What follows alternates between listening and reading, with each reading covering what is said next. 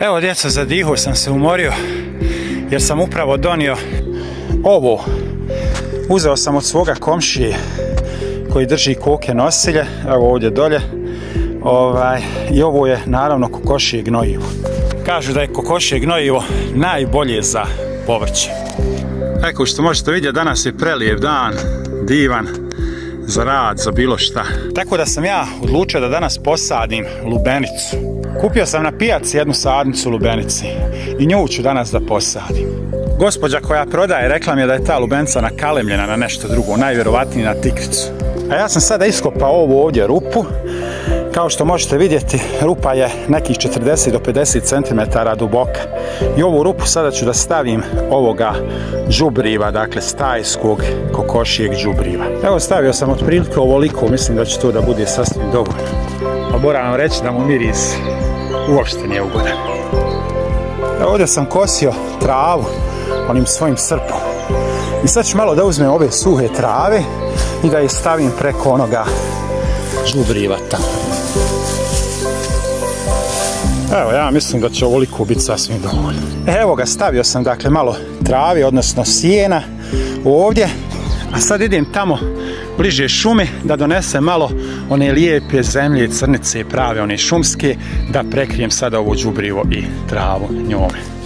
Evo tu sam zemlju iskopao ovdje i nakupio sam ovu kantu. Pa nije baš ona prava šumska crnica, ali je rastresita, lijepa, prelijepa zemlja. Mislim da će biti zadovoljavajuća za moju lubenicu. Evo ga, nasuo sam i tu zemlju u rupu, a odabrao sam ovu poziciju upravo zbog toga što ovdje ima prilično dosta sunca, sunčeve svjetlosti. Kažu da je sunčeva svjetlost upravo neophodna da lubenica bude velika, da naraste dobro. Kažu nije zalijevanje, nije voda, sunce je ključni faktor prilikom uzgoja lubenice. Bježi upi. E, tu je lubenica, evo je u saksi i sad ću da je presadim ovdje u ovu rupu. Naravno, sačekao sam da sunce malo zađe, s obzirom da je danas bilo previše toplo i ne bi joj bilo dobro da sam je posadio danas. A kako ću ja to snimiti jednom rukom? Nema šans. E, sad možda trebamo malo dodati još ove zemlje. Ovako. Ovo na trese. Stavit ćemo biljku ovdje. I ovom zemljom zatrpati.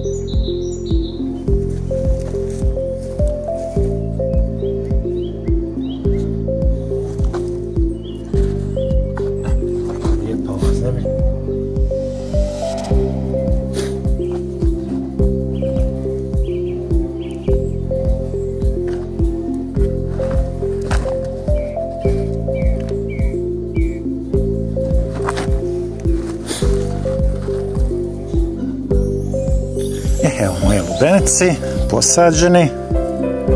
Sad ću još samo malo zaliti vodu. Evo ostalo još da zalijem svoju lubenicu i da čekam da polako naraste.